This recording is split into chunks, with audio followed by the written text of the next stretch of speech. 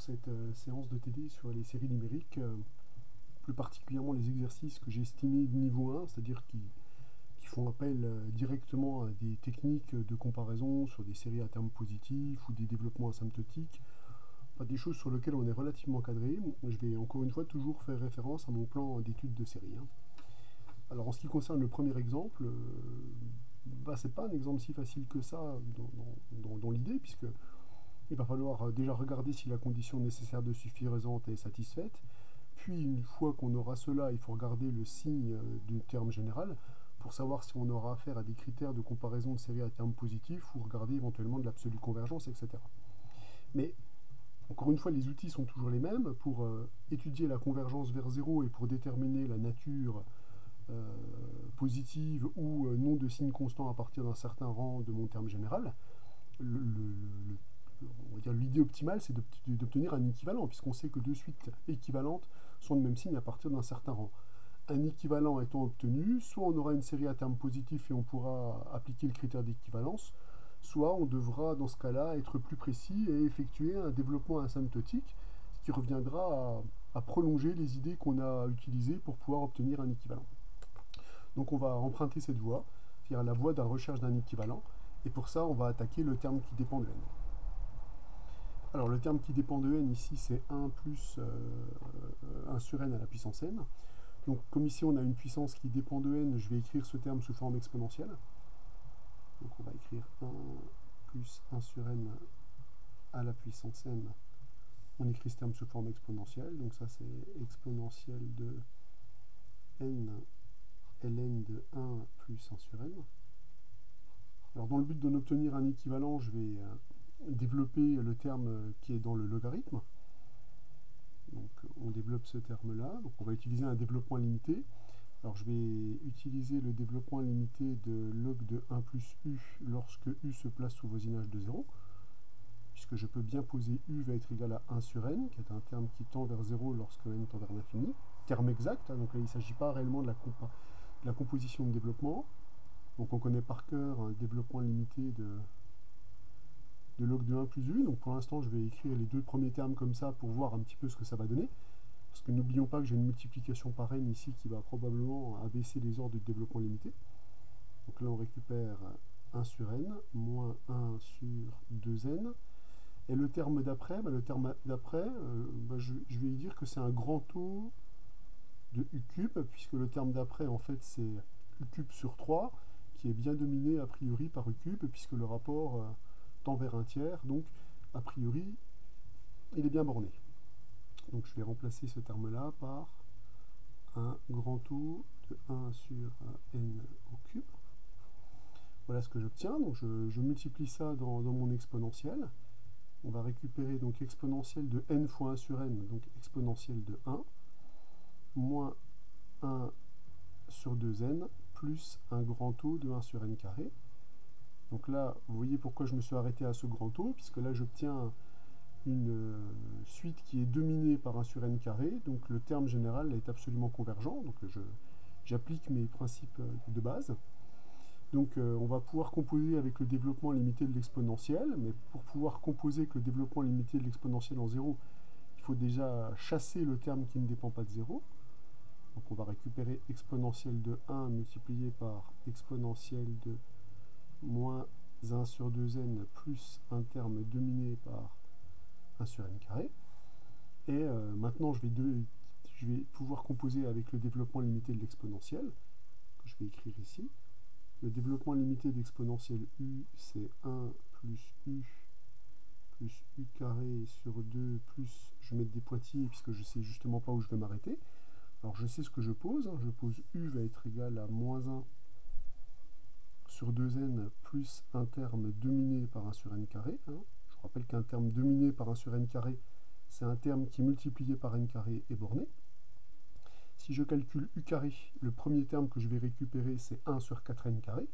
Mais 1 sur 4n carré, si vous le multipliez par euh, euh, n carré, ça va faire 1 quart. 1 quart est un terme qui est borné par rapport à n. Donc ce terme-là sera bien un grand taux de 1 sur n carré. Donc moralité, quand on utilise ce développement, on va récupérer donc le nombre exponentiel e, facteur de 1 moins 1 sur 2n plus un grand O de 1 sur n carré. Je finis le développement, on récupère E, moins E sur 2n, plus toujours un grand O de E sur n carré, puisque si un, un, terme qui est borné après multiplication par n carré, vous le multipliez par E, bah, il restera borné. Hein. Donc voilà mon développement ici, donc je vais pouvoir euh, dire que mon terme AN va donc être égal à quoi? Donc c'est E moins le développement limité qui est ici. Donc il va nous rester du E sur 2n plus un grand O de 1 sur n carré. Alors il s'avère que là, ce grand O de 1 sur n carré est, inutile, puisqu'on récupère que AN est équivalent à E sur 2n lorsque n tend vers l'infini. Comme ce terme-là est positif, on peut dire que AN est positif ou nul à partir d'un certain rang. Je vous rappelle la règle. Il faut citer, évidemment, le jour J. Hein, euh, quand vous rédigez, il faut l'écrire. Hein. À partir d'un certain rang, ce terme est positif, puisqu'on sait que deux suites équivalentes sont de même signe à partir d'un certain rang n0. Donc je, je sais que j'ai cette relation-là. Je peux donc appliquer les critères de comparaison sur les séries à termes positifs. Comme on sait que la série de termes général E sur 2n est une série qui est divergente car la série de termes général 1 sur n diverge. je ne fais que multiplier son terme général par E sur 2 qui ne change pas la nature de la série. Je peux donc appliquer le critère d'équivalence des séries à termes positifs. Attention, attention, hein, le critère d'équivalence ne s'applique que quand le terme général est positif. Hein, euh, soyez très vigilants là-dessus. Donc on peut bien appliquer euh, ce critère de comparaison, qui m'indique donc que par théorème de comparaison, la série de termes général AN diverge. Donc par théorème d'équivalence, par théorème d'équivalence, par critère d'équivalence, on peut dire que notre série diverge. Donc là, on n'avait pas besoin d'aller jusqu'à notre grand O, puisqu'on a récupéré un équivalent avec un terme qui était positif mais on ne va pas dire que ça, que ça a rendu les calculs beaucoup plus difficiles, hein, puisque c'était le terme qui était juste après l'équivalent et il n'a engendré aucune surcharge de calcul. Donc j'avais mon plan B, hein. si j'avais pas récupéré un terme de signe constant, j'aurais quand même pu conclure, puisque je récupérais un développement asymptotique jusqu'au terme général d'une série absolument convergente. ça n'a pas été nécessaire. En tout cas, mission accomplie pour cette euh, première série. Pour cet exercice-là, c'est pareil. Cette partie-là, il y a incertitude sur tout. On ne sait pas si le terme général tend vers 0. On ne connaît pas le signe euh, de notre terme général. Donc dans un premier temps, on va regarder si on est capable de trouver un équivalent. Et on peut même réfléchir à déjà si on peut récupérer un développement asymptotique. C'est-à-dire on peut déjà essayer d'anticiper ce qui peut se passer ici, en disant de toute façon, si le terme général n'est pas de signe constant, on aura quand même décomposé notre euh, terme général de série en somme de termes dont on connaîtra la nature. Donc moi, dans ce genre de pratique, je vais directement à un terme, à un développement asymptotique jusqu'à un terme absolument convergent. Donc pour ça, on va utiliser euh, le, développement limité de, sinus U au voisinage de 0. Donc on sait que le, sinus de U, lorsque U est au voisinage de 0, se décompose sous la forme U moins U cube sur 6 plus un terme qui est négligeable en 0 devant u. On voit que ça ne sera pas la peine d'aller plus loin.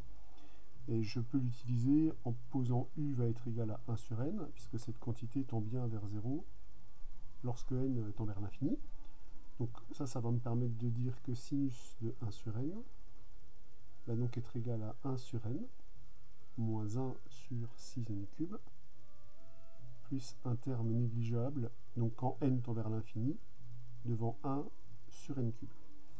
Alors je suis allé jusqu'à ce terme-là, puisque quand on multiplie ici le sinus par n, on va récupérer euh, par multiplication, donc euh, ici 1, moins 1 sur 6n carré, plus un terme négligeable devant 1 sur n carré. En appliquant le log à cette expression, ce qui est bien possible puisque ce terme-là est au voisinage de 1, donc il sera bien largement strictement positif à partir d'un certain rang. On va récupérer donc que le log de ce terme-là, c'est log de 1 plus quelque chose qui tend vers 0. C'est donc équivalent à moins 1 sur 6n carré.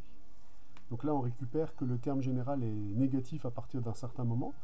Mais là, j'ai envie de dire c'est complètement inutile, puisque à partir du moment où on a montré que le logarithme de n sinus n était équivalent à ce terme-là, ça veut donc dire que cette suite-là multipliée par n carré, eh bien, a priori, tend vers moins 1. Donc ça veut dire que ce terme-là multiplié par n carré est borné. Donc on vient donc de démontrer que le terme bn est, un grand taux de 1 sur n carré. Et on sait que la série de termes général 1 sur n carré est une série qui est absolument convergente. Donc le fait que notre terme général Bn soit dominé par une série absolument convergente entraîne directement que la série de termes général Bn est absolument convergente.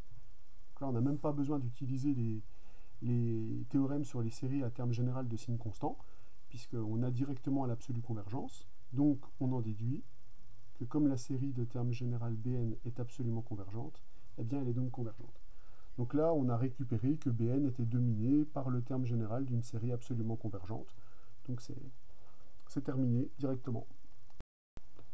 Alors pour étudier la, nature de la série de termes général Cn, qui est définie comme artangente de 1 plus 1 sur n, moins artangente de 1 moins 1 sur n, là vous voyez par exemple ceux qui se rappellent plus grand chose sur la fonction artangente, bah, c'est le moment d'aller réouvrir votre cours sur les fonctions usuelles, un cours si important, et de, regarder les propriétés phares de la fonction artangente. on peut les résumer en quelques secondes. Donc la fonction artangente est une fonction qui est strictement croissante. Sa dérivée c'est 1 sur 1 plus x carré, donc ça veut dire que sa tangente à l'origine, elle est portée par la droite d'équation y égale x. Et euh, le graphe de, notre fonction, eh ben, c'est le graphe d'une fonction impaire strictement croissante qui admet comme limite euh, moins pi sur 2 en moins l'infini, pi sur 2 en plus l'infini. Donc là, on va avoir une, une droite asymptote horizontale. Voilà, donc il faut surtout jamais perdre l'occasion de faire ces petites révisions-là. Hein. Si vous n'êtes pas sûr de vous, hein, sinon vous le paierez hein, l'année prochaine quand vous passerez les concours. Toujours, toujours faire les révisions le moment venu.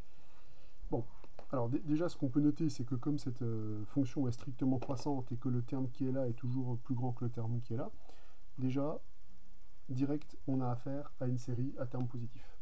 Quand on a une série à terme positif, on a tous les critères qui s'appliquent, critères d'équivalence, de comparaison, du n-alpha, de d'Alembert, des sommes partielles, comparaison somme intégrale, tous ces critères-là s'appliquent. Moi, je vais essayer d'appliquer celui qui est le plus naturel dans ces circonstances. Le plus naturel, comme on a un terme général qui est donné explicitement par une relation qui dépend de n, ça serait déjà de voir si j'en trouve un équivalent. Si on en trouve un équivalent, c'est gagné. Pour ça, on regarde ce qu'on manipule. Bon sang, je ne saurais jamais répéter assez. Regardez ce que vous manipulez. Où se passe cette histoire? Cette histoire, elle se place au voisinage de 1, puisque le terme dans artangente ici tend vers 1, et ici tend vers 1. Donc ici, on, est sur quelque chose de local 1 pour la fonction artangente. Il faut se parler, il faut se parler, il faut se parler il faut se parler, il faut se parler, il faut se parler. Je vous ai dit qu'il fallait se parler Tout le temps. Moi, quand je fais mes exercices, là, je les fais en live. Quand, je suis le soir, là, dans, ma chambrette, dans mon bureau, et que je cherche mes exercices, ben, je me parle. Je me dis, bon, ben voilà, artangente, là, euh, on est au voisinage de 1. Alors, qu'est-ce qui fait qu'on connaît artangente au voisinage de 1 bah, La formule de Taylor-Young, paradis. Donc, on va appliquer la formule de Taylor-Young à artangente en 1. J'applique ma petite formule de Taylor-Young. Alors, je ne vais pas aller à l'ordre 125. Hein je vais dire que arctangente de 1 plus h, donc de a plus h la formule que j'ai citée, c'est donc arctangente de 1 plus arctangente prime de 1 fois h plus arctangente seconde de 1 h carré sur 2 plus un petit o de h carré. Alors je suis allé jusqu'au terme h carré, pourquoi? Alors parce que là, quand je vais remplacer ici h par 1 sur n ou moins 1 sur n, je vais récupérer un terme qui est convergent. Vous allez me dire, mais ça, vous auriez pu le remplacer par un grand taux de h carré, je valide cette remarque. J'aurais pu remplacer ça par un grand taux de h carré. Donc là, j'ai le droit de remplacer euh, h par n'importe quoi qui tend vers 0, puisque c'est une formule qui est locale lorsque h tend vers 0, ce qui va me permettre de dire que arc tangente de 1 plus 1 sur n va donc être égal à quoi? Bah, je remplace ici. Artangente de 1, ça c'est de notoriété publique que ça fait pi sur 4. La dérivée de artangente, c'est 1 sur 1 plus x carré. Hein, vous avez dérivé votre fonction artangente, maintenant vous le savez bien.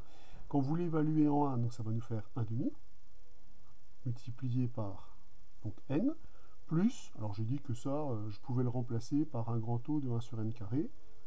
Vous avez noté que là, j'ai développé jusqu'à un terme qui est absolument convergent. Donc euh, là, je suis dans l'égalité la, plus absolue. on, va, on va faire le même développement avec arc tangente de 1 moins 1 sur n, en remplaçant simplement h par moins 1 sur n.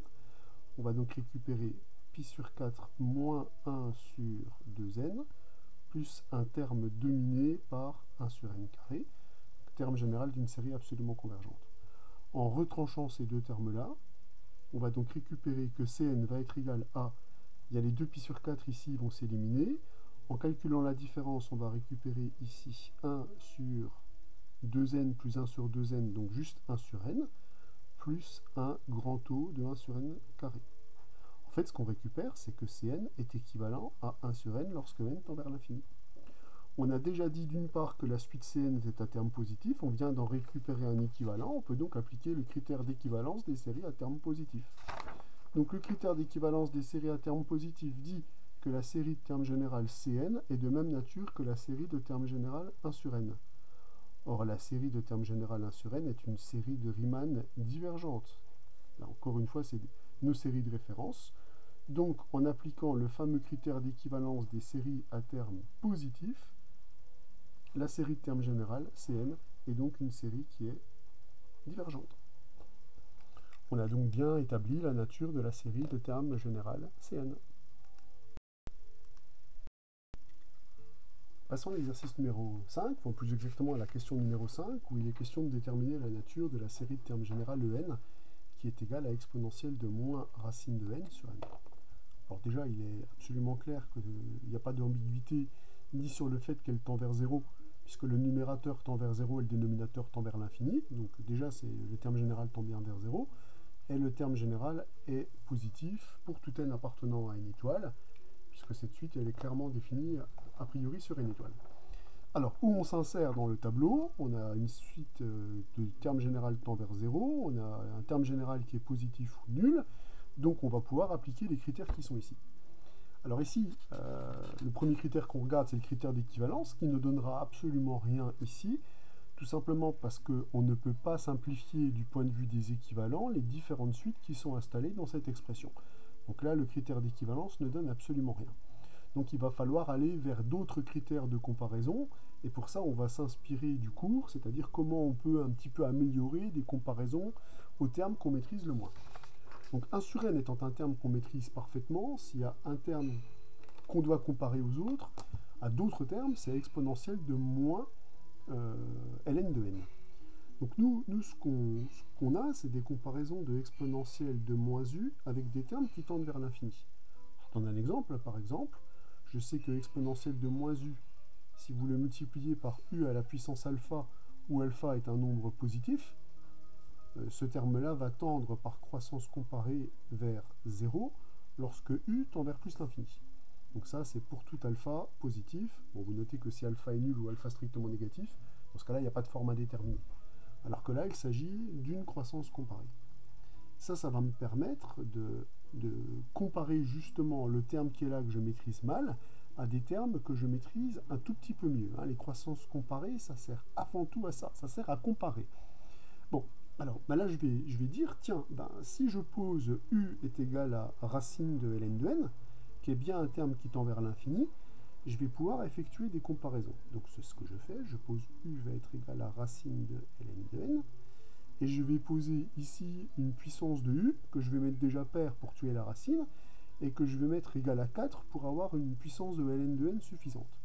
Donc là, si je pose alpha est égal à 4, je vais récupérer que ln de n au carré multiplié par exponentielle de moins racine de ln de n. Ce terme-là tend vers 0 lorsque n tend vers l'infini. Ça, ça va me permettre de dire quoi? Ça va me permettre de dire, en d'autres termes, que exponentielle de moins racine de ln de n est négligeable lorsque n tend vers l'infini à 1 sur ln de n au carré. Euh, si je multiplie ce terme par 1 sur racine de n, je vais donc récupérer que le terme qui est là est négligeable devant 1 sur n, euh, ln de n au carré. Or, je sais, ça c'est mon cours, et on a étudié les séries de Bertrand, on sait que la série de Bertrand de termes général n ln de n au carré est convergente. Or, on a un théorème qui nous dit que si notre terme général est positif et négligeable devant le terme général d'une série convergente, par critère de comparaison, on obtient donc que cette série est convergente. Donc je vais pouvoir appliquer mon critère de comparaison.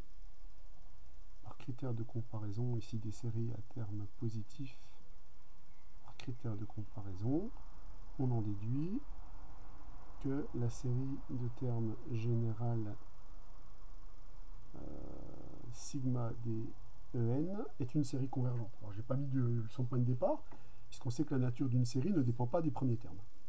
Alors là, je, vais recevoir une tonne de messages si je m'arrête là, évidemment, en disant oui, mais voilà, sur Bertrand, sur programme, bla, Bien sûr que sur programme les séries de Bertrand. Mais moi, je sais que cette série-là, elle converge. évidemment, je vais le démontrer, puisque c'est hors programme. Donc évidemment, là, je vais tout de suite dire, montrons que cette série converge. C'est toujours mieux d'avoir des certitudes que d'être dans l'incertitude. C'est beau, hein? Donc on va, on va montrer que la série de termes général 1 sur n, ln n au carré est une série convergente. en plus, on sait comment faire, parce qu'on a démontré dans le cours que quand n est égal à 1, les comparaisons somme intégrale, ça marche super bien. Donc je vais directement annoncer une comparaison somme intégrale, puisque je sais que le critère d'équivalence ne fonctionnera pas, le critère de comparaison non plus, parce que je cherche à comparer à cette série-là. Le critère du n est aussi inopérant, puisque ici le terme est égal à 1, ça ne peut pas fonctionner. Je ne parle même pas de D'Alembert. Mais on le sait, on l'a démontré en cours que c'est une comparaison somme intégrale. C'est-à-dire qu'on va chercher à, puisque j'ai une série à terme positif, on va chercher à comparer le terme général à une intégrale pour pouvoir montrer que la suite des sommes partielles de cette série est majorée. Puisque je vous rappelle que comme c'est une série à terme positif, si la suite de ces sommes partielles est majorée, eh bien la série sera directement convergente. Donc l'objectif, c'est d'effectuer une comparaison somme intégrale, c'est-à-dire ici de travailler sur le terme général, ou le terme que je veux justement euh, contrôler, mesurer, c'est le terme 1 sur k ln de k au carré.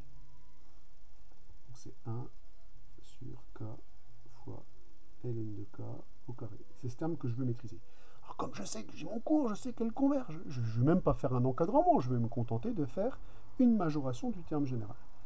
Donc si je fais une majoration du terme général, imaginez que k-1 ce soit là. Je sais que dans ce cas-là, je vais regarder à gauche, puisque le terme 1 euh, sur k-1, le terme 1 sur k ln de k au carré, donc l'air, elle correspond, correspond à cette aire de ce rectangle, puisque là le côté mesure 1 sur k ln de k au carré, et là se mesure 1. Je vais le comparer à une intégrale, et l'intégrale à laquelle je vais la comparer, c'est l'intégrale qui est ici, qui évidemment est bien plus grande que ce terme-là, puisque je suis dans le cadre d'une fonction euh, décroissante sur l'intervalle 2 plus infini. Vous allez dire, vous n'avez pas vérifié que la fonction f associée à cette comparaison somme intégrale est décroissante. Je n'ai pas vérifié, je vais le faire. Donc je considère la fonction qui a t associe t ln de t au carré.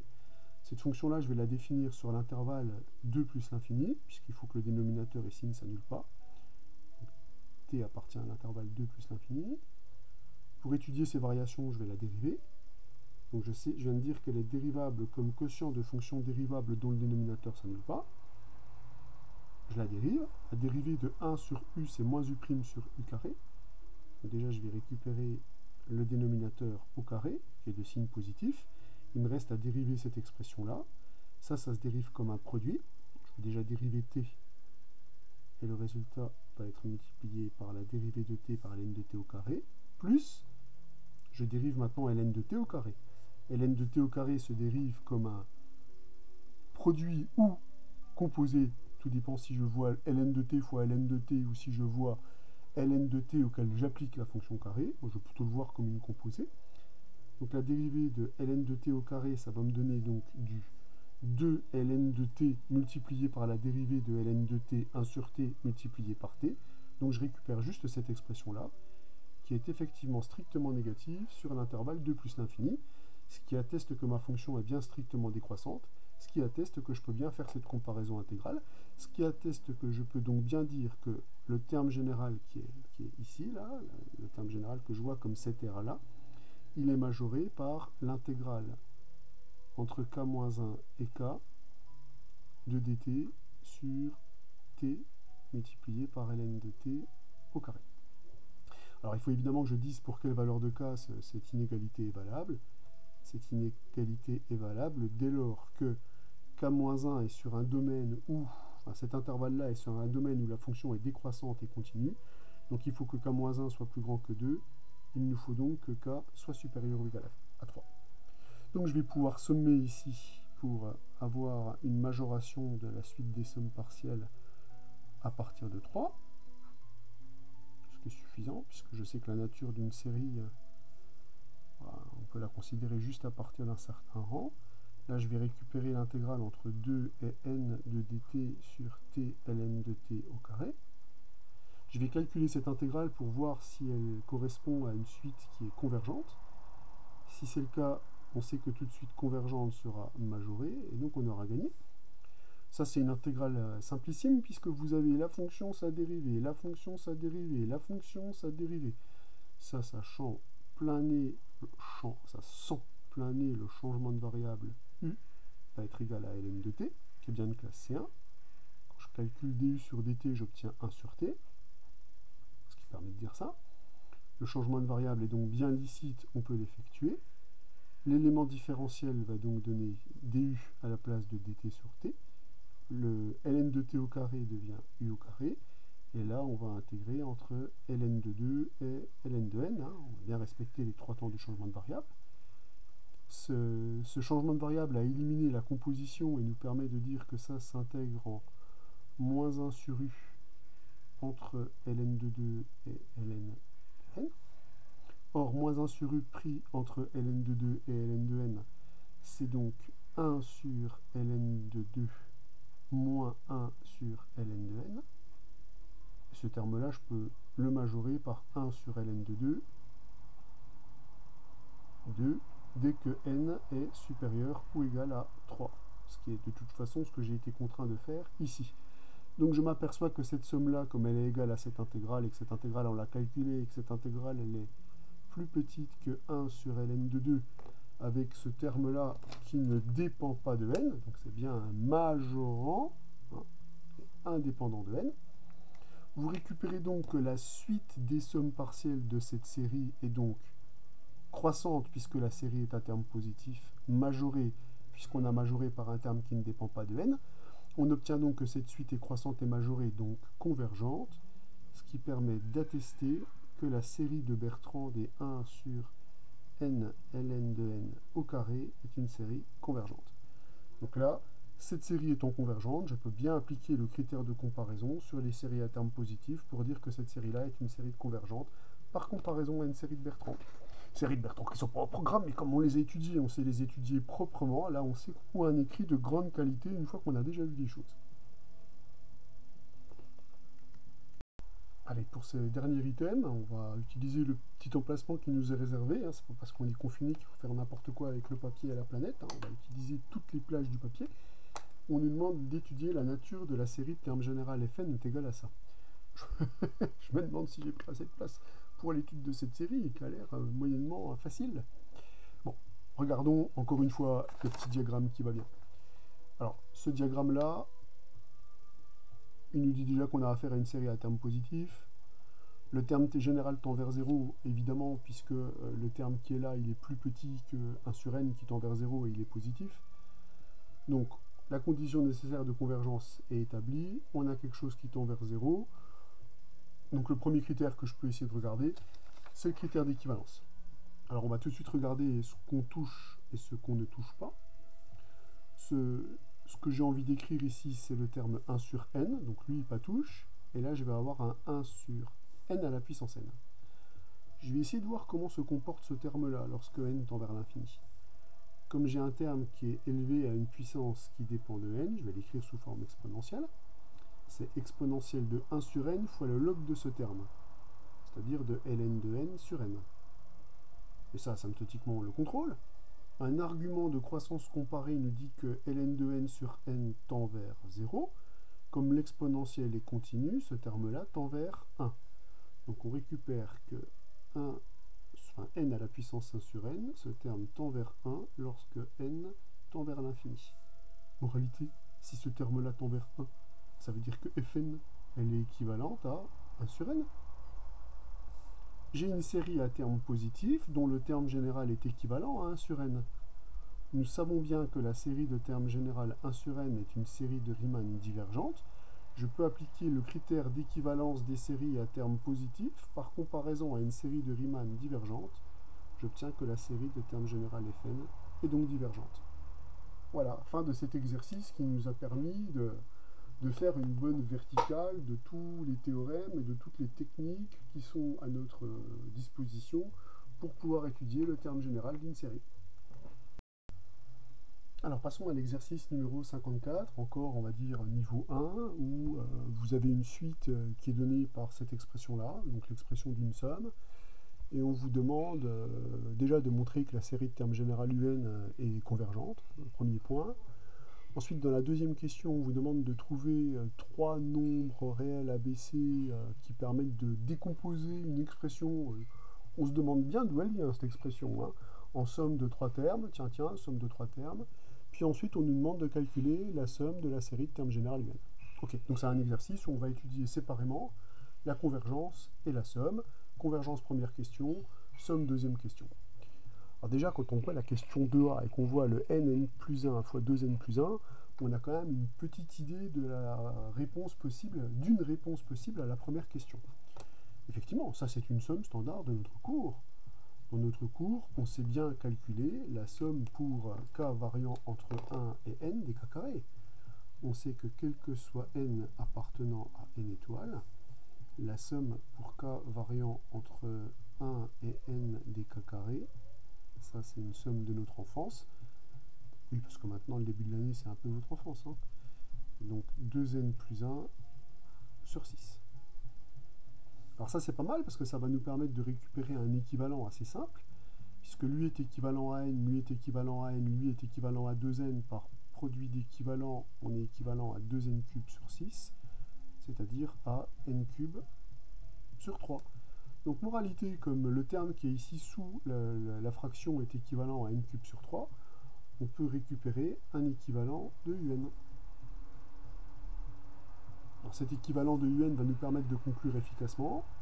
Alors déjà, une part un est à valeur positive pour tout n appartenant à n étoiles. Partout où elle est définie, ce terme-là est évidemment positif. Et on sait que un est équivalent à 3 euh, sur n cube euh, lorsque n tend vers l'infini. Or, il est de notoriété publique que la série des 1 sur n cube, elle converge c'est une série de Riemann. On va simplement indiquer ce qui est important. C'est une série de Riemann avec un exposant qui est strictement plus grand que 1. Donc la série des 3 sur n cube est également convergente puisque les deux séries, après multiplication par un nombre indépendant de n, sont de même nature. On peut donc appliquer le critère d'équivalence des séries à termes positifs qui permet d'établir que la série de termes général un est donc bel et bien convergente. Ça, c'était une première façon de faire. Une deuxième façon de faire, c'était de faire une comparaison directe en disant, vous vous rappelez, c'est le théorème qu'a rappelé Rafik dans le fil sur Discord, le théorème des bandits et des butins. Alors, euh, Rafik il dit, il faut tuer euh, mes collègues, puisque là, le, butin, on ne peut pas y toucher, il ne dépend pas de haine. Bon, on va tuer des collègues. Cette mesure est tout de même discutable, Rafik, je tiens à vous le dire, mais bon. J'écris mon terme général en extension, et je me dis, pour obtenir une fraction plus grande, il suffit que je tue mes collègues positifs. Bah, ils sont tous positifs. Donc je vais laisser que celui qui m'intéresse pour obtenir une série convergente, le petit dernier. Et comme ce terme-là est positif, et comme cette inégalité est valable quel que soit n appartenant à n étoiles, on peut donc appliquer le critère de comparaison des séries à termes positifs, puisque la série de termes général 1 sur n carré est une série convergente, c'est toujours une série de Riemann, et on a toujours que 2 est strictement plus grand que 1. Donc on pouvait utiliser soit le critère d'équivalence des séries à terme positif, soit le critère de comparaison des séries à terme positif. Donc on a les, deux voies qui sont ouvertes pour cet exercice, qui nous permettent toutes les deux de dire que la série de termes général UN converge. Voilà, voilà les possibilités. Bon, néanmoins, vu la deuxième question et vu les dénominateurs de la fraction qu'on avait, ça, quand même, ça paraissait quand même assez naturel de dire que euh, on pouvait clore cette somme-là, somme bien connue. Alors on passe maintenant à la partie où il va falloir calculer la, somme de la série.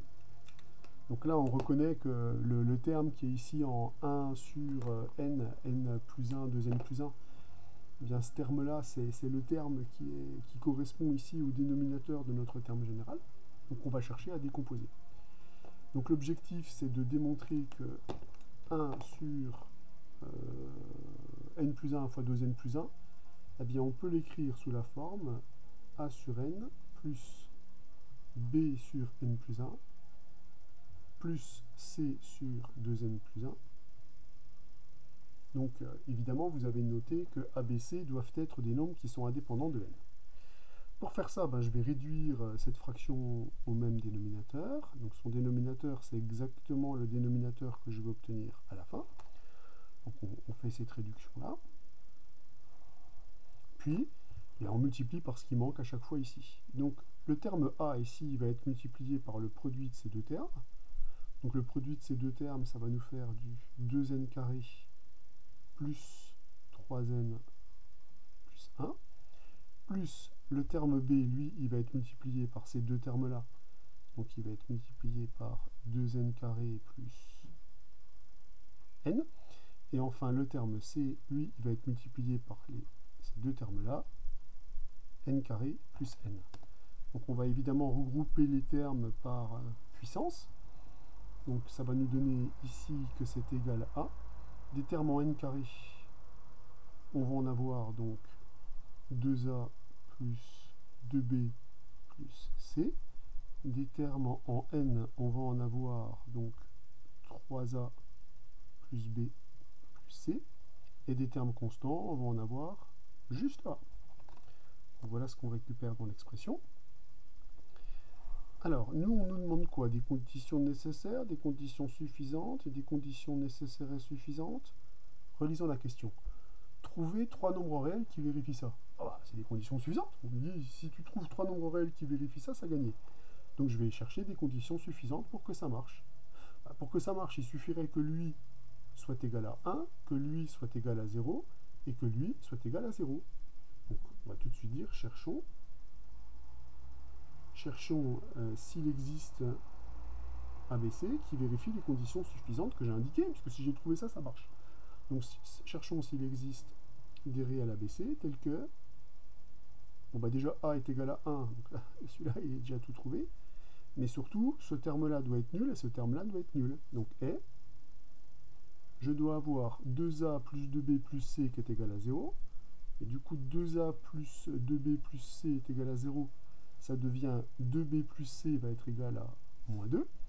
Et ce terme-là est nul, qui devient b plus c va être égal à moins 3a, c'est-à-dire va être égal à moins 3. On est ramené à la résolution d'un petit système de rien du tout.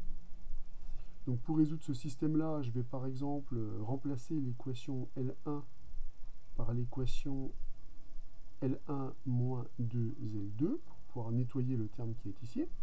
Parce que là, le pivot est quand même plus simple en bas. Donc on va récupérer que B plus C va être égal à moins 3. Et en nettoyant, on va récupérer donc en multipliant par moins 2 que moins C va donc être égal à ça multiplié par moins 2. Donc 6, 6 moins 2, 4. Donc on récupère immédiatement que C est égal à 4 et que B va donc être égal que, pardon, moins C va être égal à 4, donc C va être égal à moins 4, et donc que B va être égal à 1.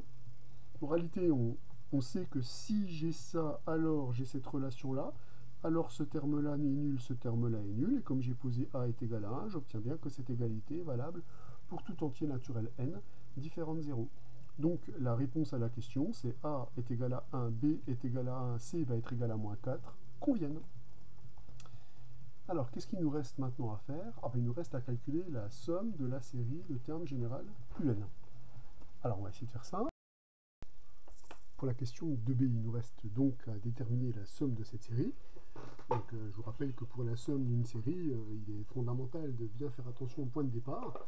Donc ici, comme la suite est définie à partir du rang 1, euh, quand on vous demande de déterminer la somme de la série, bah, il s'agit de la somme de n égale 1 à l'infini des un, qui existe bien en vertu de la première question, puisqu'on a démontré que cette série était convergente.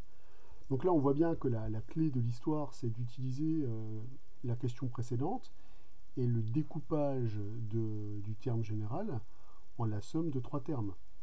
Donc dans la question précédente, on a démontré que 1 sur k, k plus 1 de k plus 1 se découpait. Eh bien, il se découpe ici sous la forme donc 6 sur k plus 6 sur k plus 1 moins 24 sur 2k plus 1 vu le découpage qu'on a obtenu euh, au-dessus, et après multiplication par 6 pour récupérer les expressions. Donc là, encore une fois, on regarde ce qu'on manipule. Ce qu'on veut calculer, c'est la somme de la série. Par définition, la somme d'une série, c'est la limite de la suite des sommes partielles. Donc là, on se doute bien qu'il va falloir clore la suite des sommes partielles, ou en tout cas l'exprimer à l'aide de suites dont on saura déterminer euh, si elles convergent ou non. Donc la suite des sommes partielles, c'est la somme pour k variant entre 1 et n des k. Pour avoir une chance d'avancer dans cette somme, on va évidemment utiliser le découpage de la question précédente.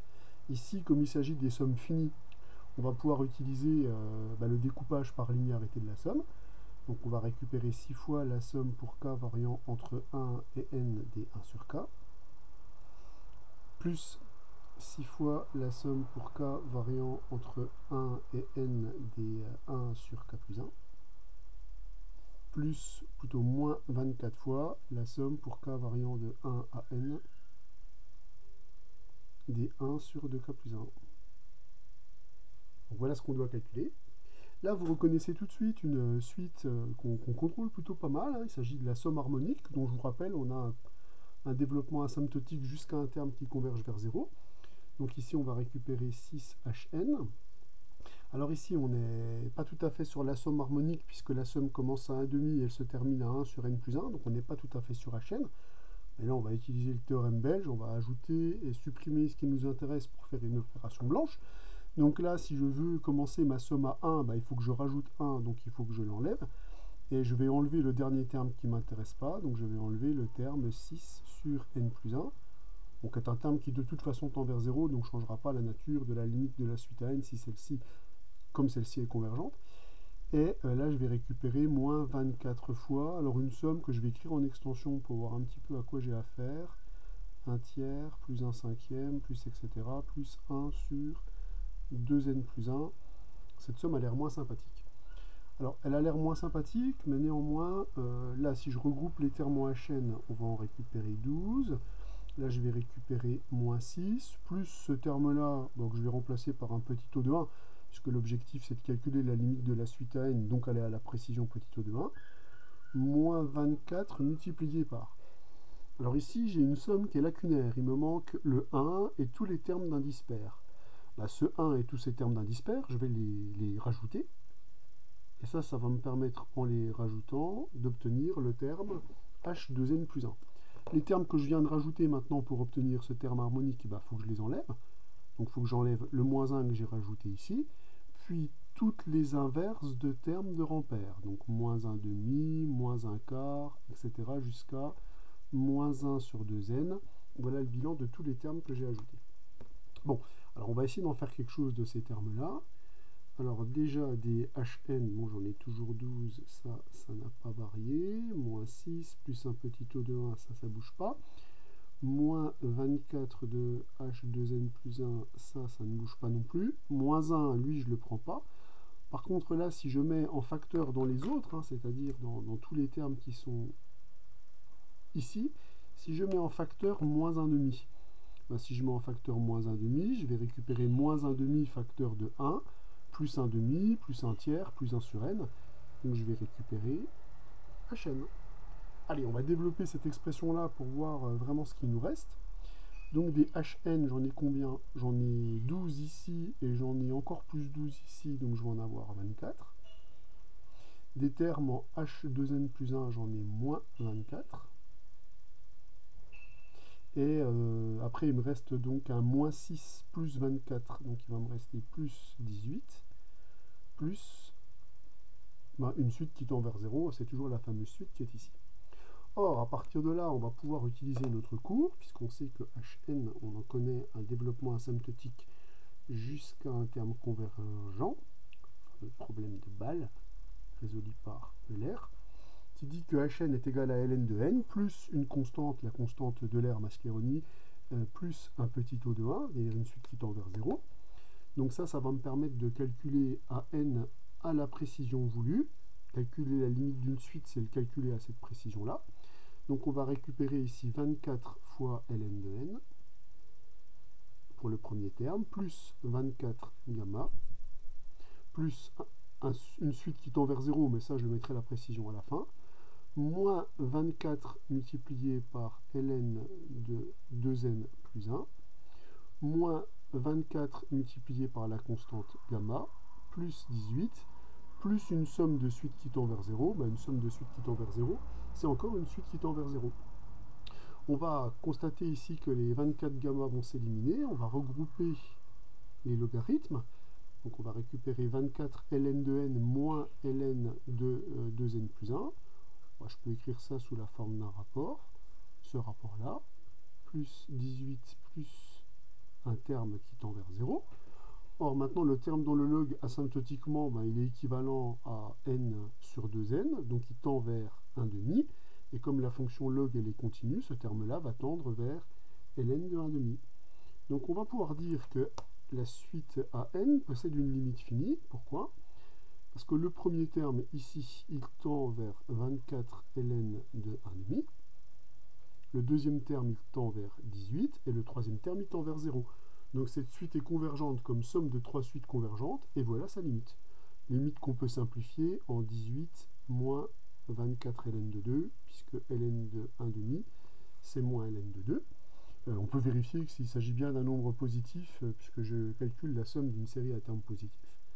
Donc on peut maintenant attester que la somme, lorsque n tend vers, enfin de, va de 1 à plus l'infini, des inverses des 1 au carré plus 2 au carré plus etc. plus n au carré, cette somme-là, eh bien c'est 18 moins 24 logarithme népérien de 2.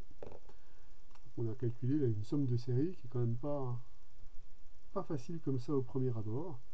Et on voit l'intervention, encore une fois, euh, de la somme harmonique hein, qui interviendra assez souvent dans ce type de contexte. Fin des exercices niveau 1.